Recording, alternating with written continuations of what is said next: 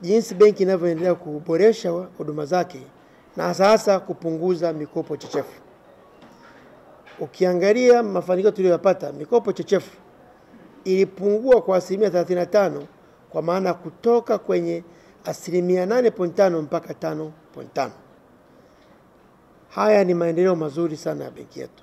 Ukitazama, ukijaribu kulinganisha na mwaka jana, mwaka jana tulitoa shilingi 8 kwa hisa, mwaka huu shilingi 17 kwa hisa, ni ongezeko la asilimia 112.5. Hiyo kwa benki ya CRDB haijawahi kutokea, ni historia kutoa gawio kubwa namna hiyo, na gawio ni sehemu ya faida. Na katika CRDB naomba niongezee, kuna kuna sera ambayo kila mwaka tunaitumia kwamba katika faida yetu kila mwaka ni lazima tutenge angalau asilimia 35 ya faida yote kama gawio kwa wanahisa wetu.